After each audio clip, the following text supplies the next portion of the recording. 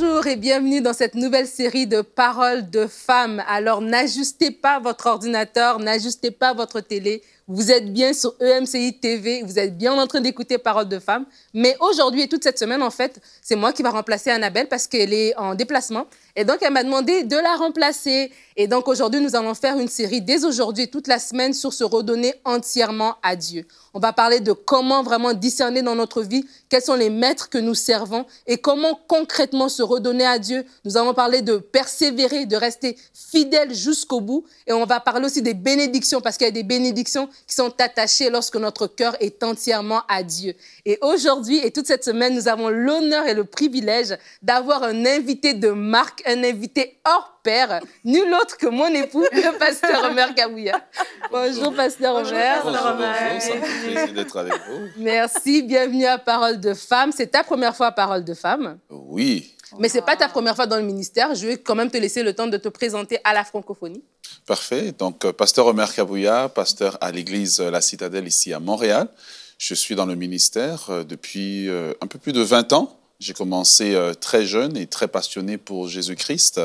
Et il me fait plaisir euh, d'être euh, avec vous. Ben, me fait bienvenue. que tu sois avec nous. Et euh, oh, ben, évidemment, les filles, vous êtes là. Donc, je suis pas seule. J'étais un peu nerveuse, j'avoue. Mais là, après, je me suis dit, j'ai mon bras ensemble. droit et mon bras gauche. Donc, c'est bon. Aaron et Ouais. Ça va aller, exactement. On exactement. Et donc, cette série, euh, c'est vraiment, notre cœur, c'est vraiment d'inspirer les personnes à se redonner à Dieu parce qu'on se dit, on est encore dans le premier trimestre de l'année. Il y a peut-être des gens en début d'année qui ont fait des résolutions, qui se sont dit, oui, moi, cette année, je me donne à Dieu. Cette année, j'avance dans ma communion avec Dieu. Cette année, vraiment, je me consacre, je lis ma Bible tous les jours, etc., etc. Et peut-être qu'ils peuvent se refroidir, mais là, on vient vite. Parole de femme vient à votre rescousse pour vous dire non, on se fatigue pas, on s'épuise pas, on se donne entièrement à Dieu. Amen. Oui, c'est ça. Des fois, on, on part l'année du bon pied, on se dit, mais là, je vais vraiment, cette année, je veux, je veux vraiment aller plus haut, je veux vraiment me rapprocher du Seigneur Jésus, je veux changer des choses dans ma vie. Et des fois, le naturel revient très rapidement au galop. Et donc, c'est peut-être le cas des personnes qui nous écoutent aujourd'hui. Donc, vraiment, restez avec nous toute cette série, ça vous concerne. Ça concerne tout le monde parce que je pense qu'on a toujours besoin vraiment de, de, de raviver notre foi, raviver notre relation avec, avec, euh, euh, avec notre Sauveur, avec le Saint-Esprit. Et donc, on peut jamais euh, aspirer assez. hein, dans- donc, euh, vraiment, on est là pour... euh, cette série, c'est vraiment pour donner soif, pour se rapprocher, se consacrer davantage et des fois, pour se, se permettre de revenir. Si on a abandonné nos bonnes résolutions, de, de- des fois, ça dure quelques jours, voire quelques semaines, et puis le- la routine reprend vite, et puis on oublie. hein. Si on se rappelle pas euh, qu'est-ce qu'on a pris comme décision, on peut facilement oublier. Voilà. Donc, comme tu as dit, Parole de femme est là pour ramener vraiment son à la peuple. rescousse. Et tu as dit quelque chose de super important, Mathieu, tu as dit de raviver. Et je crois que des fois, c'est qu'on doit examiner, en fait, on doit s'examiner pour s'assurer, est-ce que mon corps est entièrement à Dieu? Est-ce que dans ma vie de tous les jours, est-ce que je sers vraiment Dieu ou je me sers de Dieu? Eh, Quel maître est-ce que je sers? Est-ce que c'est mes, mes, mes, mes propres opinions, ma propre conception des choses ou c'est vraiment Dieu que je sers? Et Pasteur Omer, je vais justement te laisser développer là-dessus parce que la première émission, on parle de quel maître est-ce que nous servons?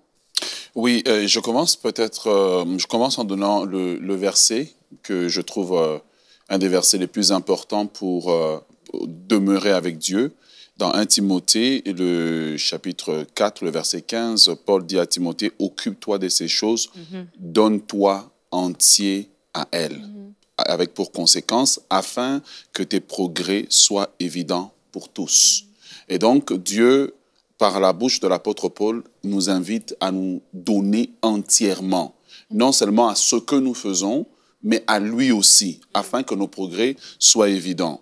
Pourquoi je dis à lui aussi? Parce que on peut servir Dieu, on peut se servir ou on peut servir un autre, une, une autre chose ou une autre personne.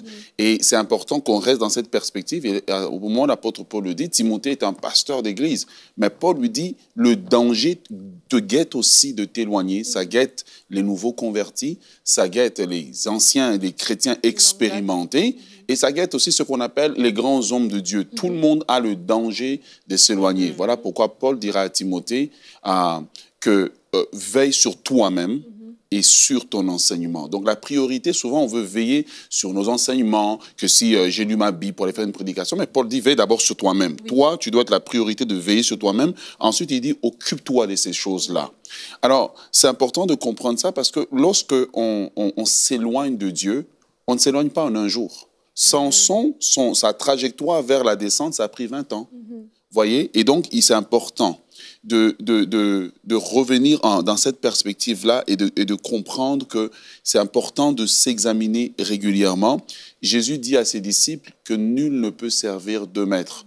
Quand il dit nul ne peut servir, ça veut dire qu'il y, y a, une possibilité quand même qu'on tombe dans une euh, logique où on sert deux maîtres. Donc c'est important de s'examiner, de savoir aujourd'hui quel maître je sers. Si je parviens à, avec l'aide de la parole de Dieu, à m'examiner en tout temps, à savoir quel maître je sers, à ce moment-là, c'est possible pour moi de corriger ma trajectoire.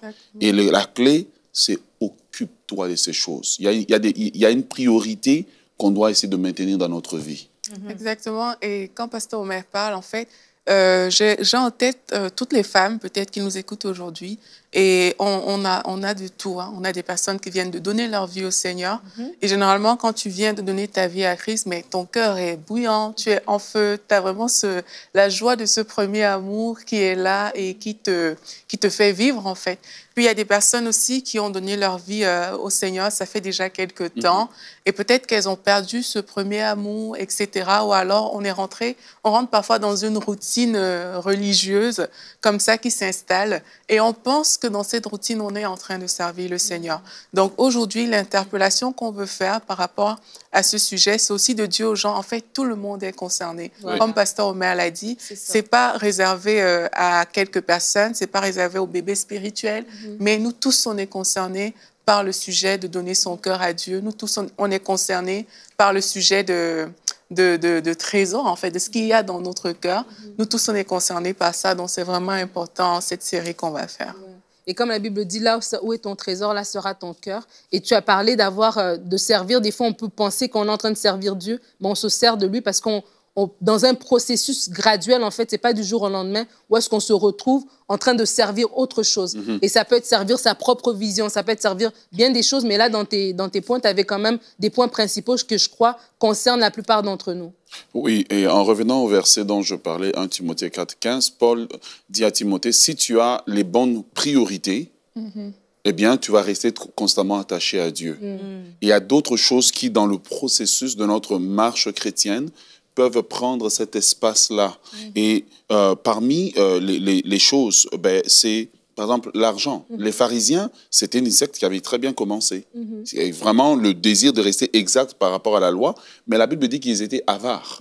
Voilà, l'amour de l'argent a pris la place dans leur cœur. Euh, on peut servir Dieu euh, pour euh, la position. Paul dit que ben, Diotrephe, il aime avoir la première place. Et pourtant, il est dans l'Église. Mais le but de, de- de- de son attachement à Dieu n'est plus de plaire à Dieu, mais c'est d'avoir la première place. C'est pour ça que Paul dit, occupe-toi de ces choses. Nous devons revenir aux vraies choses qui nous attachent à Dieu, en fait. Et après, après ça, ben, on, peut, on peut servir nos ambitions. Judas a servi ses ambitions. Ses ambitions, c'était de prendre Jésus, en faire un, un révolutionnaire. Et il y a plein d'autres choses comme ça qui, qui viennent au courant de la marche chrétienne et qui peuvent tranquillement nous éloigner de Dieu. Et quand on s'éloigne de Dieu, ce qui est, est- est grave, c'est qu'on ne s'éloigne pas du jour au lendemain. C'est petit à Ouais. petit, petit à petit, petit à petit. On priait chaque jour. Là, on est rendu à prier ben, euh, une fois sur deux. Et on se donne des excuses. Et c'est ça que Satan vient, il nous donne des excuses logiques. Ah, mais c'est parce que tu étais fatigué. Et on se croit. Ouais. Ouais. On vrai. Croit qu'on ne tombera jamais, on croit qu'on ne s'éloignera jamais, effectivement. Mais je pense que c'est pour ça que c'est important. Euh, moi, ça fait euh, 20 quelques années que je suis au Seigneur. Et à chaque fin d'année et euh, transition vers la nouvelle année, j'aime toujours faire une introspection d'où j'en suis avec ma relation avec le Seigneur. Parce que comme tu dis, Pasteur Omar, ton, ton, le, ton verset clé, c'est vraiment que nos progrès soient évidents de tous. Et moi, je veux être la première personne à voir mes progrès. Amen. Je veux pas que ça soit seulement euh, les autres qui constatent mes Oui. progrès, mais je veux vraiment savoir que j'ai progressé, que je me suis euh, approchée de Dieu, que j'ai j'ai eu des nouvelles révélations dans l'année, que j'ai compris des nouvelles choses, que j'ai plongé dans des choses euh, différentes dans la parole, que j'ai compris. Dieu m'a révélé ses mystères, Dieu m'a révélé des, des choses à force de relire. Et j'aime me repositionner parce que justement, des fois, on, on pense qu'on est au-dessus parce qu'on est dans une espèce de, de routine religieuse, comme tu as mentionné, Aurélie. Et c'est ça qui est dangereux, c'est de se confier dans sa routine, c'est de se confier dans nos efforts, dans qu'est-ce qu'on fait, dans ce qu'on a l'habitude de faire. Et voilà le danger. Si on est toujours confortable, c'est parce que peut-être qu'on a besoin d'être attisé, on a besoin d'être secoué d'une bonne manière pour vraiment s'assurer que notre consécration fait du progrès. Ça dit que euh, on va de gloire en gloire et de progrès en progrès. Donc moi-même, je devrais être capable, je devrais être en mesure de constater mes progrès et ça devrait être mon désir. Oui. Donc s'assurer que je ne stagne pas. Donc pour moi, c'est toujours super important de faire aucune stagnation mais vraiment d'avancer. Ouais, et par rapport à ce que Pasteur Omer disait aussi dans le même sens, c'est de voir en fait euh, là où on ne progresse plus en fait. Il faut parfois, il faut identifier en fait à quel à quel niveau dans ma vie j'ai arrêté de progresser. Ça c'est c'est des questions qu'on doit souvent se poser, comme Mathilde dit, prendre de- le temps pour le faire, parce que il y a des personnes par exemple, elles arrivent disons à l'église, mais elles ne ressentent plus rien. Ça veut dire qu'il y a eu un euh, on dit une régression, voilà. régression. Il y a une régression quelque part. Et ça, il faut, il faut savoir s'arrêter euh, à ces moments-là, en fait. tu étais habitué à aller euh, à l'église euh, le dimanche, tu étais habitué à participer à plusieurs réunions d'église, mais à un moment, tu n'as plus euh, ce zèle-là.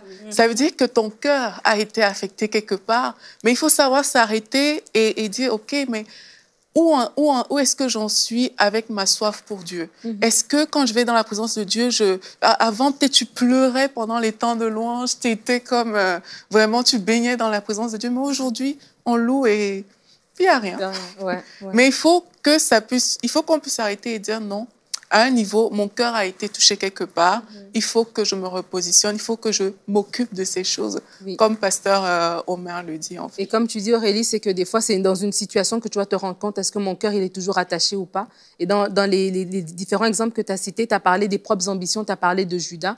Et je crois que, tu sais, par exemple, Judas, on voit que c'est quand euh, il a, la dame vient, vient avec le parfum qu'elle verse. Et là, on- lui, il se dit, ah, mais non, tout cet argent. Et on pense que c'est parce qu'il s'in- il s'intéresse aux pauvres. Mais non, mais parce que, en fait, c'est parce qu'il était voleur. Et des fois, nous aussi, dans nos vies, une situation peut arriver. Et c'est ta réaction face à cette situation qui te fait voir, en fait, le maître que je sers, ce n'est pas ce que je pensais. Tu vois, quand il parle, par exemple, de la position, peut-être que toi, dans l'église, exemple, on parle des gens dans l'église, toi, tu aimes bien qu'on fasse appel à toi, tu aimes bien être de service, tu aimes bien être à l'avant. Et c'est le jour que tu arrives et qu'à la dernière minute, on a changé le programme et c'est plus toi qui vas chanter ou c'est plus toi qui va officier, peu importe, que tu es frustré. C'est là que tu te dis, mais en fait, est-ce que le maître que je sers, c'est Dieu, je veux juste simplement le servir et je peux le servir à partir des bancs en, tapant des mains? Ou c'est moi-même en fait parce que je voulais cette place en avant là. Et c'est comme il a dit, c'est subtil et ça guette tout le monde. C'est vraiment nous tous qui sommes concernés parce que c'est quelque chose qui est subtil et qui arrive lentement, mais c'est quelque chose qui est fatal parce que lorsque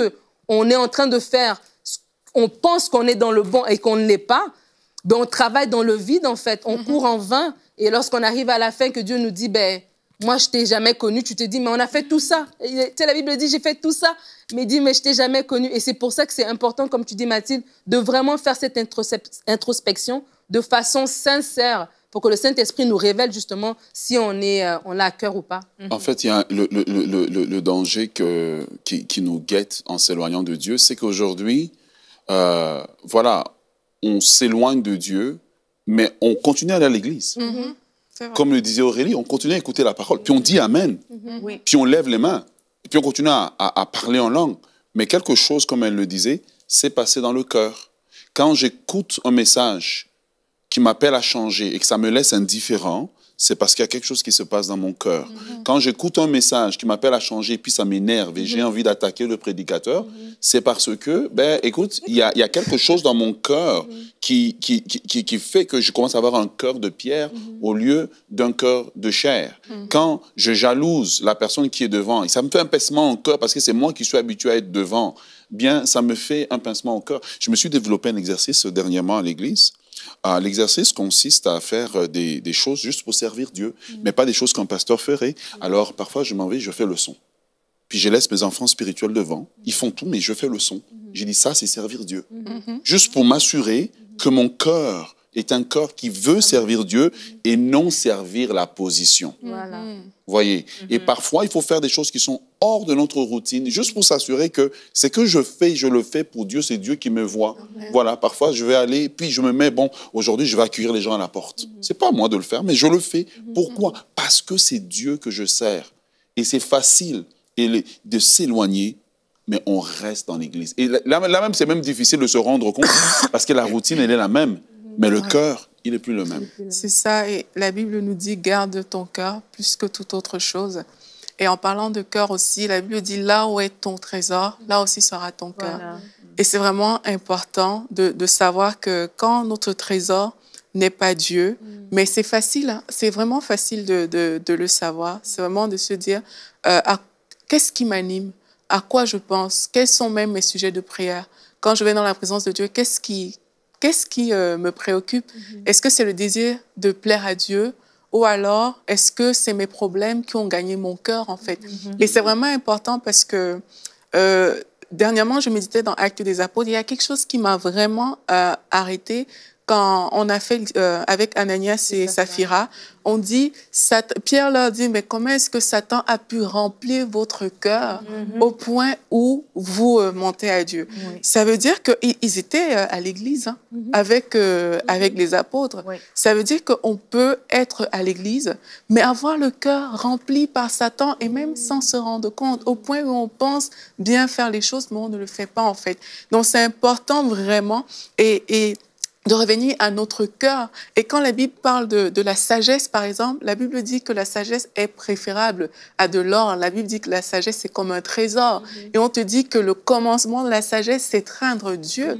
Vous voyez, donc c'est comme euh, là où on a mis Dieu par rapport au trésor, c'est vraiment très important. Et quelquefois, nous, on met Dieu, on renvoie Dieu à des positions très inférieures, alors que c'est vraiment lui qui devrait occuper tout notre cœur. Donc vraiment, c'est de dire aux personnes qui nous écoutent de, de, de refocaliser en fait et de vraiment interpeller le Seigneur pour dire, Seigneur, je veux que tu occupes la place dans mon cœur. Je veux que ce soit toi qui remplisses mon cœur. Je veux pas que mon cœur soit rempli par les choses du monde. Je veux pas que mon cœur soit rempli par mes, comme le pasteur m'a dit, par mes ambitions personnelles, par euh, mes- ma position, mais vraiment que mon cœur soit rempli par toi, Seigneur Jésus-Christ. Qu'est-ce qui est merveilleux de qu'est-ce qu'on discute en ce moment, c'est que vraiment, c'est, c'est important de, de comprendre qu'il y a des choses vraiment spécifiques qu'on adresse, des, des, des symptômes Mhm. de quelqu'un qui s'éloigne ou de quelqu'un qui se refroidit.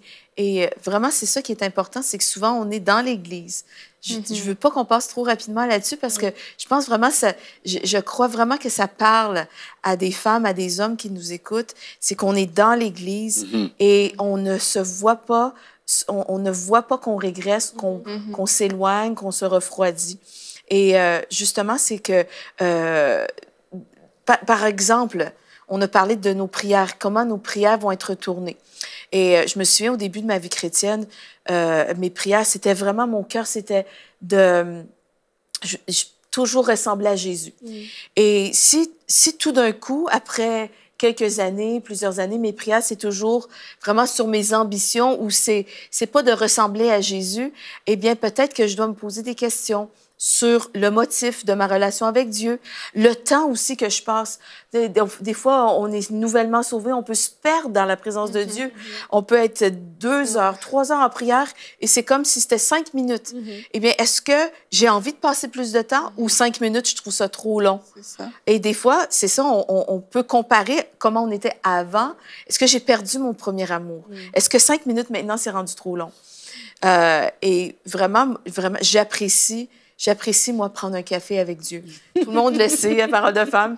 Et je pense vraiment que si on est intentionnel pour se consacrer, euh, intentionnel pour se consacrer à chaque jour, vraiment la présence de Dieu, qu'on est attiré dans sa présence, qu'on détermine un moment où vraiment, vraiment, je suis déterminée, je suis intentionnelle pour Amen.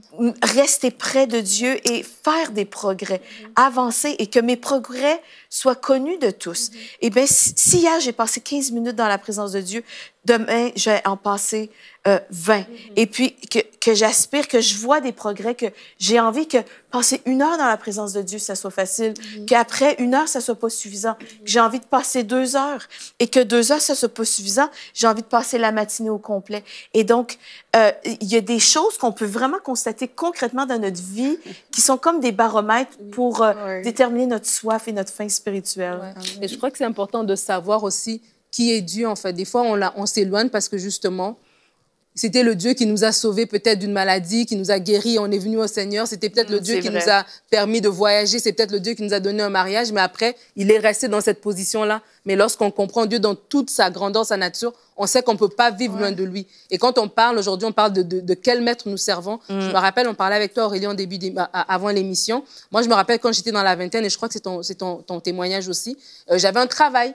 Et ce travail-là, euh, c'était un travail euh, avec des quarts. Donc, ça veut dire euh, des quarts de travail. Donc, c'était pas juste de 8h à 16h, mais tu pouvais faire de 7h à 15h, de 15h à 23h, parce que c'était une entreprise qui était ouverte quand même avec euh, des longues heures. Et je me rappelle que quand j'étais nouvelle à ce travail, ben, ils te demandaient de rentrer le week-end, donc de travailler le samedi et le dimanche.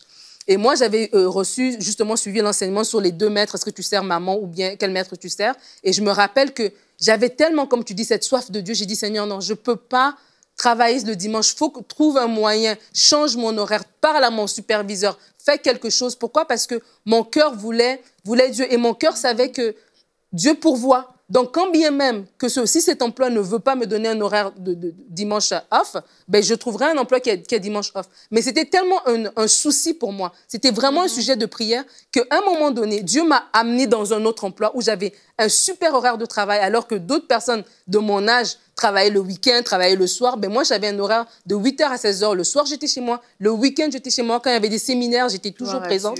Pourquoi? Parce que vraiment, c'était important pour moi. Et- Rechercher le royaume de Dieu voilà. d'abord. Et il y a beaucoup de gens, en fait, qui s'éloignent comme ça aussi. C'est pas qu'ils ont, ils aiment plus Dieu, mais ils ont oublié que Dieu, ben, il est un Dieu extrêmement grand, extrêmement merveilleux. Et donc, en manquant un dimanche, un dimanche sur deux, un dimanche sur deux, un dimanche sur deux, un peu comme l'histoire de la grenouille dans la casserole, au fur et à mesure, tu finis par, euh, voilà, tu finis par oublier.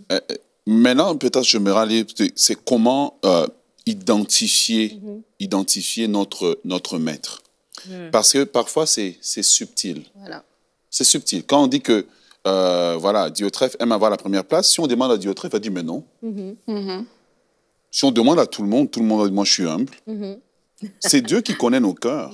C'est Dieu qui sait là où on s'est éloigné. Mais j'aimerais dire que quand on s'éloigne de Dieu, qu'on est un intime de Dieu, ça fait mal au cœur de Dieu. Parce que Dieu perd un ami.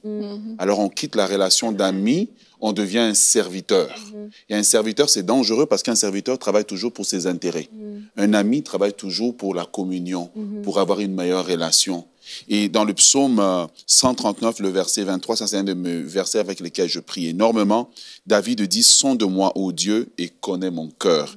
Éprouve-moi et connais mes sentiers. Mes sentiers, c'est ma marche. Donc, il faut que nous arrivions à prier régulièrement pour demander à Dieu, Seigneur, je pense que je suis correct, mais sonde-moi. Comment toi tu vois la chose? Et parfois, on quitte Dieu pour servir une relation. Ça peut être un nouveau conjoint ça, qui nous dit, maintenant, va pas à l'église. Voilà. Va pas à l'église, prie pas, tu pries trop. Alors, pour ne pas paraître spirituel, on te laisse. Et il faut une des façons de, de, de, de voir le, de- le véritable baromètre, ce Dieu, et demander à Dieu, Seigneur, sonde mon cœur. Et quand Dieu le fait, on va commencer à constater un certain malaise par rapport à certaines choses, malaise par rapport euh, à la télévision. On sait, non, là, tu regardes trop la télévision, un malaise par rapport à une amitié. Dieu lui-même saura pointer dans notre vie ce qui ne va pas. Bon, Et personne ne peut venir à Dieu en se disant, ben, écoute, ben, moi, Seigneur, je pense dans tel domaine. Peut-être tu vas dire, c'est vrai ça, mais ce n'est pas prioritaire. Et je, je dis toujours, quand David est parti avec Bathsheba, Dieu n'a rien dit. Mais quand il a touché à Uri, Dieu a dit, là, tu as exagéré. Vous voyez? Donc, les deux situations étaient graves, mais Dieu a dit, d'abord, je vais d'abord régler ton problème avec Uri, parce que ça, c'est un problème où tu exagères. Donc, parfois, Dieu ne, peut, ne règle pas tout en même temps dans notre vie, mais il pointe quelque chose, il dit, ça, c'est dangereux. Si je laisse ça dans ta vie, tu vas t'éloigner de moi. Et ce que Dieu veut, c'est qu'on se rapproche de lui. Amen. Et Pasteur Omer, je vais te demander de prier justement parce que je suis consciente qu'il y a des gens qui écoutent l'émission et qui se disent Ah, tiens, là, ça me parle, là, ça me parle, là, ça me parle. Et je sais que le Saint-Esprit vous parle. Et il y a un point qui a été dit qui vient vous rencontrer dans votre cœur et vous dites, ah, ça, c'est moi, ça, c'est ma situation. Et on va tout simplement prier pour vous, pour que vraiment votre cœur revienne tout entièrement à Dieu. Seigneur, nous prions avec le psaume 139 où David dit Sonde de moi, ô Dieu, et connais mon cœur. Et je sens dans mon cœur de prier pour les gens qui sont dans des fausses relations, des relations qui les éloignent d'eux, que ça peut être un ami ou un conjoint. Et Seigneur, depuis qu'ils sont dans ces relations, euh, ils ont perdu la, la, communion avec toi. Les choses ne sont plus aussi claires qu'avant. Je prie que la lumière du Saint-Esprit vienne. Je prie que Dieu sonde votre cœur. Dieu mettre à la lumière, à la lumière ce qui est aujourd'hui semble normal, qu'il y ait un, malaise, que Dieu puisse mettre un malaise, mais un malaise sain, un malaise qui vous rapproche de lui, qui vous pousse à le chercher. Je prie que la main de Dieu vous visite, je prie que le Dieu ouvre vos yeux. Seigneur, je prie pour ces frères, ces sœurs qui sont dans, dans différents pays, qui viennent à peine de te connaître, mais qui sont dans des endroits où la persécution aussi fait que mm. c'est plus facile de t'abandonner, c'est plus facile de, de s'éloigner de toi pour avoir la paix. Je prie, Seigneur, que tu poses ta main sur eux et tends ta main, Seigneur Dieu, restaure et réattire à toi, que cette semaine, nous puissions nous redonner entièrement à toi dans le nom de Jésus. Amen.